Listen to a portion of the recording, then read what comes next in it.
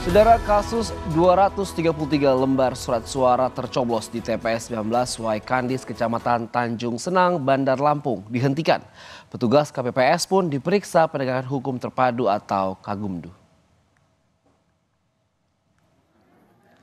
Surat suara yang tercoblos dari caleg DPRD Provinsi Lampung terbagi atas 133 surat suara tercoblos atas nama caleg Hesti Kumalasari dengan nomor urut 2 dari Partai Demokrat dan 100 surat suara DPRD Kota Bandar Lampung atas nama Sidik Afendi dengan nomor urut 1 dari Partai PKS.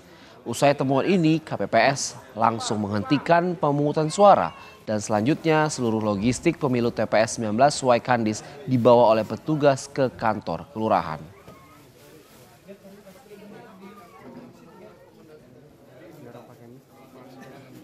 Menemukan surat suara yang sudah tercoblos di nama caleg DPRD provinsi atas nama Netilia Supri SEMM nomor urut 2 dari Partai Demokrat. Sebanyak 133 lembar. Pemilih yang lain menemukan surat suara yang sudah tercoblos kembali atas nama caleg Sidik Effendi SH MH semua semua petugas KPPS kita lakukan pemeriksaan hari ya, kita periksa uh, hari ini. Kalau sanksi terhadap calon ada nggak itu?